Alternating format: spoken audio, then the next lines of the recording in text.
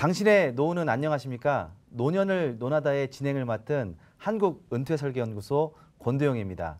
어, 여러분 이렇게 만나 뵙게 돼서 무척 반갑습니다. 여러분들의 은퇴 후의 삶, 노년의 삶을 풍요롭게 만들어드리기 위해서 최선의 노력을 다하겠습니다. 그 노력을 함께 해 주실 오늘 세 분의 패널 모셨는데요. 한 분씩 소개시켜 드리겠습니다. 우리 여원봉 교수님 나오셨습니다. 반갑습니다. 네, 반갑습니다. 네, 서울 디지털대학의 소비자금융학과 여운봉 교수입니다. 반갑습니다. 다음으로 우리 노후설계 강사이신 김신혜 강사님 나오셨습니다. 네, 안녕하세요. 대한민국의 중장년들에게 희망을 드리고 있는 김신혜입니다. 어, 마지막으로 우리 어, 김종학 기자님 나오셨습니다. 네, 안녕하세요. 한국경제TV 김종학 기자입니다. 반갑습니다. 저희 프로그램은 어, 시청자분들의 궁금증을 듣고 어, 그걸 가지고 저희가 전문가들의 이야기를 듣는 순서로 가질 텐데요. 어, 시청자분들이 굉장히 궁금한 게 많은 것 같습니다. 그 궁금증 지금부터 한번 들어보도록 하겠습니다. 첫 번째 질문 한번 들어보겠습니다. 이제 은퇴가 얼마 남지도 않았는데 퇴직금은 퇴직연금으로 바꾼다 해갖고 중간 정산을 해버렸어요. 따로 개인연금 들어둔 것도 없는데요. 그래 걱정이 많습니다. 대부분의 50대의 걱정인 것 같아요. 퇴직금은 중간 정산에서 퇴직연금으로 어, 이미 설계가 들어갔고 그리고 뭐 인생 살아오면서 위로는 부모님 봉양해야 되고 아래로는 자녀들 부양해야 되기 때문에 어, 개인적인 노후 설계 잘 안 돼 있는 분들이 많이 있습니다. 저도 뭐 현장에서 느끼는 거지만 이런 50대들 정말 많이 있는데요. 어, 우리 김신혜 강사님은 이런 분들 많이 만나시죠? 네, 많이 만나죠. 대부분 아마 지금 지금 52세시죠, 네. 저분이.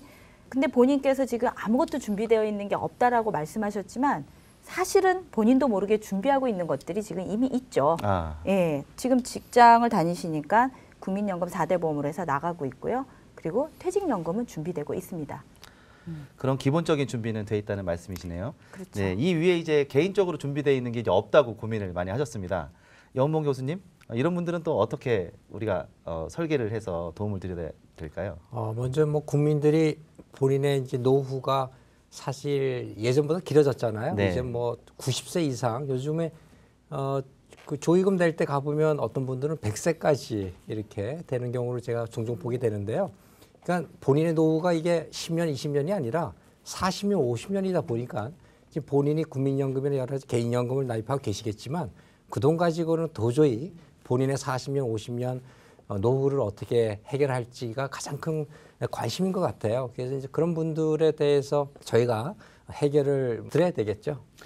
그렇게 해결하려고 하면 아무래도 이제 뭐 지금 52세니까 60세 정년 맞을 때까지 8년 동안 열심히 돈을 모은다고 해도 많이 부족할 것 같고 어, 자연스럽게 조금 더 일을 해야 되는 방향으로 아무래도 어, 이 관점이 좀 잡힐 것 같은데 그 부분에 대해서는 김신혜 강사님은 어떻게 어, 컨설팅 하시고 강의하시는지요? 근데 지금 사실 이분이 52세니까 공적연금을 받게 되시는 나이가 64세 정도 되실 것 같아요.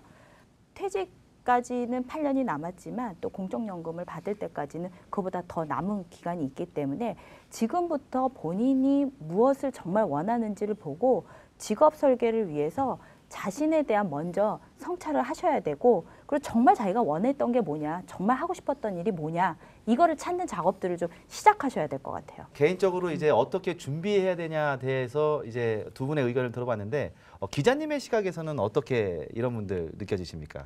아, 저도 사실 뭐 취재하면서 느끼는 건 비슷할 것 같습니다. 대부분의 이제 은퇴를 준비해야 된다라고 공감되는 형성은 돼 있지만 방법을 모르는 게 아, 그동안에는 일만 열심히 했으니까 자연스럽게 소득이 있었지만 그 미래 설계를 전혀 해보지 않았었던 거예요. 나이가 어떻게 들어감에 따라서 돈이 얼마가 필요하고 나중에 한 60, 70 돼서 그에 필요한 비용 설계를 안 했다라고 생각하는데 이게 말씀해 주신 것처럼 사실 정말 국민연금에 퇴직연금은 있으니까 그럼 나중에 내가 얼마의 돈을 가지고 쓸 거냐 그걸 먼저 설계를 해보시는 게 가장 필요하지 않을까 그 조금 느끼고 있습니다. 퇴직연금을 중간정산 받으셨다고 말씀하셨어요. 퇴직연금을 중간정산 받으셨기 때문에 사실상 퇴직금을 연금으로 바꾼 퇴직연금은 어, 그렇게 많이 적립되어 있지는 않은 듯한 느낌입니다. 이게 과연 노후 생활에 얼마큼 큰 도움이 될까 이런 부분에 대한 관심도 많고 또 걱정도 많으신 것 같아요. 교수님 퇴직연금에 대해서는 어떻게 또 생각하시는지 한번 말씀 해주시죠. 예, 네. 사실 지금 나이 50대, 40대 되신 분들이 퇴직연금 혜택을 받을 수 있는 부분이 너무 작아요. 네. 이 선진국 뭐 미국 같은 나라는 퇴직연금이 491K라고 해서 수십 년간 벌써 시행이 되지 않았습니까? 우리나라는 불과 뭐 시행이 10년 채안 되는데요. 그러다 보니까 퇴직연금 혜택을 받을 수 있는 분들이 많지가 않습니다. 네. 결론적으로는 우리나라 분들이 기본적으로 노후 대비해서 준비할 수 있는 것은 국민연금 하나인데요. 국민연금 하나 가지고는 사실 뭐 본인이 에, 직전 연수입의 뭐 좀 40%까지 정부에서 마련해 주겠다 국민연금공단 얘기를 하지만 그게 과연 40%까지 받을 수 있을지가 의문이고요. 또 국민연금이 어떤 줄 수 있는 그 혜택이 워낙 작기 때문에 본인이 스스로 별다른 다른 어떤 개인연금을 철저히 준비하지 않으면 사실 노후 준비 굉장히 어렵다고 봅니다. 네. 아, 그래서 그런 개인이 스스로 준비할 수 있는 어떤 아이디어나 생각들을 짜내야 되는 거고요. 또 정부 측면에서도 그런 부분에 대해서 적극적인 어떤 세제 지원이라든가 네. 세제 공제라든가 이런 것들을 적극적으로 해줄 필요가 있습니다. 네. 뭐 사회적으로 당연히 어 우리 국민연금공단에서 열심히 또 운영해야 되는 거는 맞는 사실인 것 같은데 어 문제는 이제 퇴직금을 연금으로 바꿔서 어 적립된 금액은 적고 거다가 개인적으로 지금 아, 돈 들어갈 일이 많은 50대 아니겠습니까? 그렇기 때문에 어, 이것저것 준비하려면 많이 힘든 상태인데 음, 직업에 대한 부분을 많이 고민하실 것 같아요. 그 직업 설계에 대해서는 과연 어떻게 어, 이야기를 하시는지 우리 김신혜 강사님 한번 말씀해 주시겠습니까? 근데 이 부분이 굉장히 어려운 게요. 그동안 지금 50이 될 때까지 사실 우리나라 국민들 중에 정말 내가 원하는 일을 했다. 이렇게 자신 있게 말씀하실 수 있는 분이 몇 프로나 될까? 그렇다면 지금 어, 조금만 눈을, 눈을 돌아, 돌려서 보면요. 내가 어떤 걸 원했는지를 찾을 수 있는 지자체의 이런 프로그램들이 참 많이 있습니다. 근데 또 직장 생활을 하다 보면은 그거를 둘, 둘, 둘러볼 시간이나 여유가 없었는데요.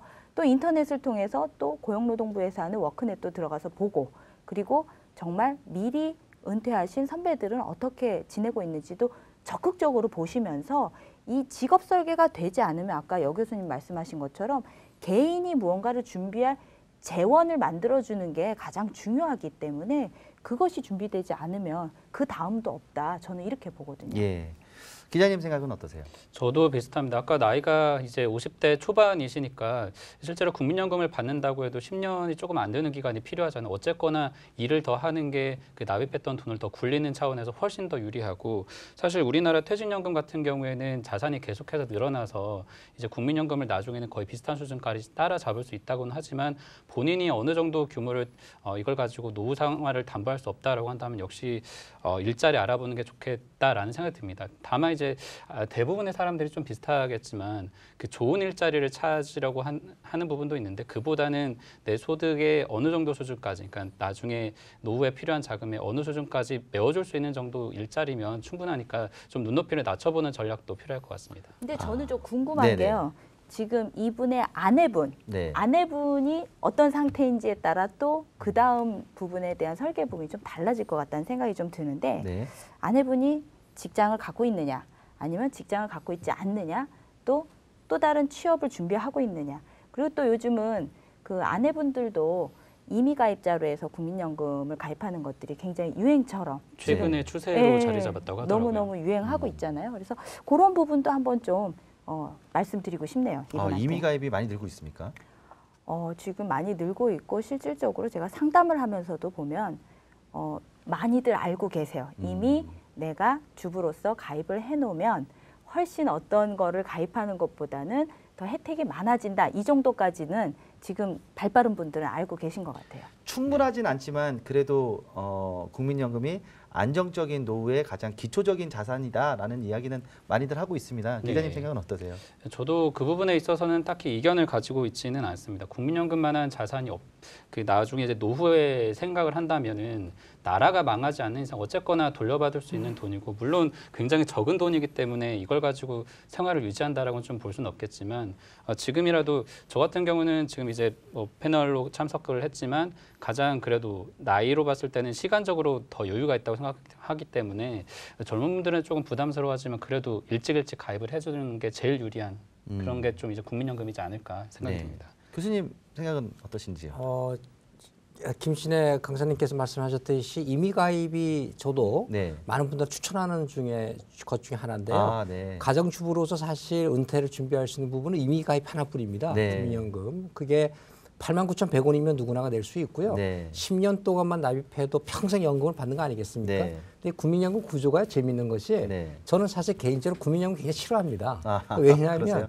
저 같은 경우는 최고 금액을 내고 있단 말이죠. 예. 제 급여에서. 근데 제가 이 국민소득이 어떻게 돼 있는가 하면 적게 되신 분들은 노후에 네. 많이 타게 돼 있고 그렇죠. 많이 내시는 분들은 소득이 많아서 많이 내시는 분들은 또 그것보다 적게 타게 돼 있어요. 네. 그래서 이제 그 소득 재분배 기능을 갖고 있기 때문에 네. 사실 소득이 적거나 소득이 없는 가정주부 같은 분들은 사실 최고 좋죠. 네. 왜냐하면 사실 10년만 내면 계속 연금을 받을 수가 있다라고 하는 건데 저 같은 경우에는 직장을 다니고 급여를 받는 한 계속 내야 된다는 겁니다. 네. 그래서 저는 제가 낸 돈보다 제가 저는 적게 타먹어요. 네. 그래서 저는 그게 불만인데 하지만 저 같은 사람도 국민연금을 많이 타먹는 방법이 있더라고요. 예. 이거를 어, 저는 이제 오래 살려고 합니다. 예. 오래 살면 내가 그동안 납부한 돈보다는 많이 타먹을 수 있는데 예.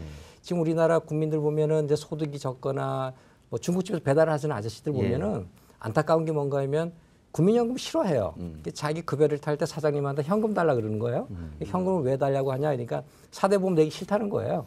뭐 국민연금 내기 싫고 또 국민의료보험 내기 싫고 음. 네.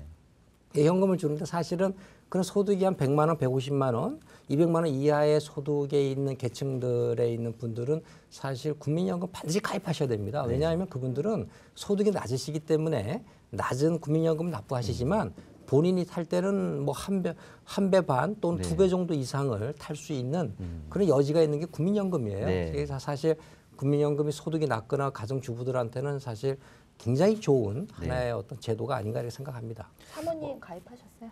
어, 저는 집사람이 다른 소득이 있어서 예. 네. 아, 은근히 지금 교수님께서 어, 본인의 소득이 많으시다는 얘기를 네. 좀 해주시면서 어, 상당히 어, 좋은 말씀 해주셨는데 자영업자들에 대한 이야기를 하셨습니다. 자영업자들이 네. 어, 저는 이 자영업자분들이 어, 국민연금을 조금 기피하는 현상이 좀 있다라는 부분에 저도 느낌이 있는데요. 어, 김신혜 강사님은 현장에서 느끼시기에 어떻습니까?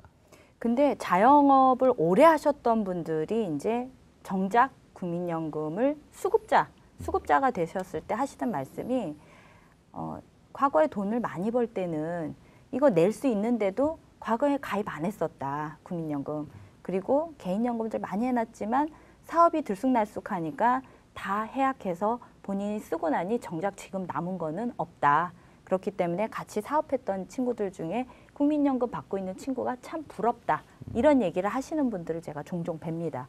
왜냐하면 어, 지금 수급자이신 분들은 과거에 그만큼 국민연금의 가입에 대해서 또 이렇게 교육이나 사회적 분위기가 안 되어 있을 때 경제활동을 왕성하게 하셨기 때문에 아마 그런 것 같습니다. 어, 아까 그 말씀 중에 두 분의 말씀을 종합해 보면 어, 소득 재분배의 기능이 있다. 더 크게 얘기하면 사실 사회 보장 제도이기 그렇죠. 때문에 어, 조금 내가 힘들 힘들었던 경제 활동에 힘들었던 분들이 오히려 나중에 소득 대체율을 더 크게 어, 점칠 수 있기 때문에 국민연금이 좋다라고 얘기하는데 아, 과연 그렇게 생각하시는지. 아, 역시 근데 이 부분은 제가 딱히 결론을 내리기는 어려울 것 같습니다. 이 소득 재분배 기능은 있다라고 아까 교수님도 말씀해 주셨지만 이 체감을 하, 하는데 시간이 굉장히 많이 걸리잖아요. 60세가 이제 지나야 되니까 그 부분에 있어서 지금은 어, 사실 직장인들이야 당연히 내야 되는 돈이라서 납부를 하지만 말씀해 준 것처럼 돈을 안 내는 뭐 자영업자라든가 아직은 뭐 사회초년생이라든가 이런 경우에는 어, 체감은 못하지만 나중에 내가 돌려받을 수 있다라는 점은 분명하기 때문에 좀 어, 계속 고려는 해봐야 될 것 같습니다. 세 분의 의견을 다시 한번 종합해 보면 어, 여러 가지 연금의 시스템은 있어야 되지만 가장 기본적으로 국민연금에 대한 시스템에 어, 우리가 먼저 시작을 해야 된다는 말씀은 이견이 없으신 것 같습니다. 그리고 어, 물론 퇴직연금에 대해서 우리 여 교수님께서 어, 간단히 짚어주셨지만 퇴직연금 뭐 시작한 지가 2005년도 시작되지 않았습니까? 지금 뭐 제가 알기로는 퍼센테이지로는 95%가 좀 넘어가는 기업들이 이제 거의 대부분 가입된 걸로 알고 있는데 중간에 정산받은 게 좀 문제인 것 같아요.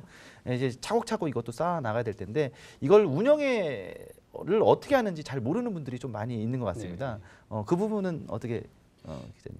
퇴직연금 같은 경우는 말씀해 주신 대로 2005년부터 시작이 돼서 이제 10년이 넘었습니다. 이렇게 126조 정도가 되는데 대부분 직장 가입자들은 퇴직연금에 가입했는지 사실 잘 모르시는 분들도 의외로 많이 있고요.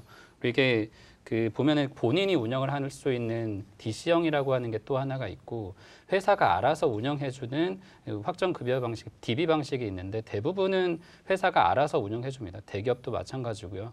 이게 회사가 그 동안에는 물가 상승률도 어느 정도 담보가 되고 소득도 꾸준히 이제 늘어나다 보니까 안정적인 방식인데 어, 지금 이제 서서히 조금 알, 알아가고 있는 추세지만 여전히 내가 직접 주식에 투자, 투자 한다든지 어, 퇴직연금에 나중에 이제 수익률을 높여보겠다라는 노력은 어, 전반적으로 아직까지는 인식이 낮은 편인 것 같아요. 그래서 어, 국민연금이야 직접 운영하는 전문기관이 있지만 내가 운영하는 또 퇴직연금이라는 측면에서는 어, 좀 더 관심을 가질 필요가 있어 보입니다, 확실히.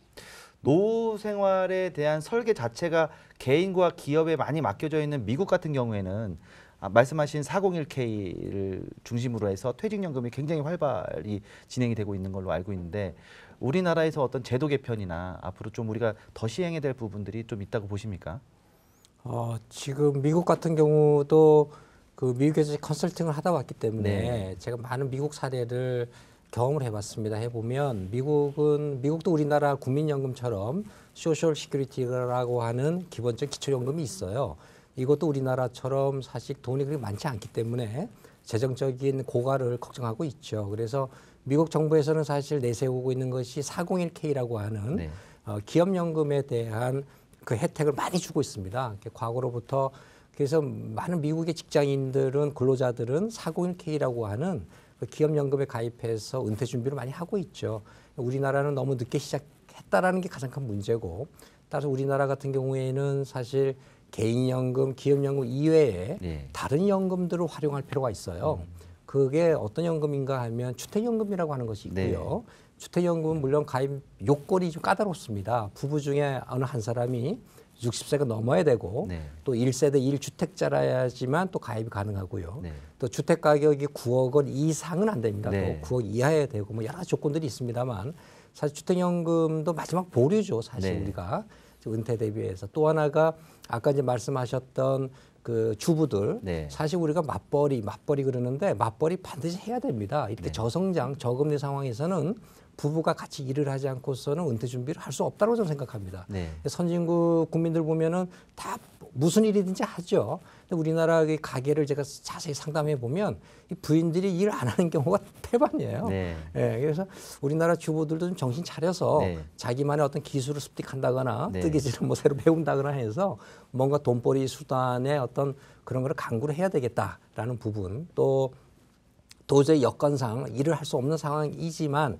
아, 그럴 경우에는 아까 말씀하신 국민연금을 자기가 임의로 가입하게 되면 8만 9,100원씩 내는데 그것도 정말 돈이 없다라고 하더라도 돈을 짜내서라도 네. 그거를 반드시 가입하시기 바랍니다. 네. 근데요, 아까 주부들 정신 차려야 된다고 말씀하셨는데요.